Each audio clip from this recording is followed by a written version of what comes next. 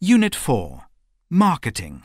Track 29 With so much competition in retail these days, how are companies managing to retain their customers? I think there are several ways that are being used at the moment. The most obvious one is to invest in loyalty cards or loyalty marketing schemes. And we can think of companies like Tesco, which have invested a lot of money in their club card scheme over the last 10 to 15 years. This is a way of gathering intelligence about customers, their buying behaviour, and then using that to try and create promotions and offers uh, which will uh, better meet their needs and therefore uh, encourage them to come back again and again.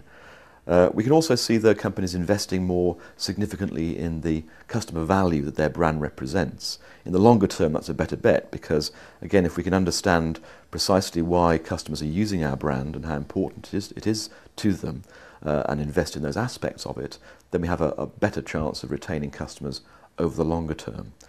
But we can also see, I think, companies in, uh, in investing in price promotion activity.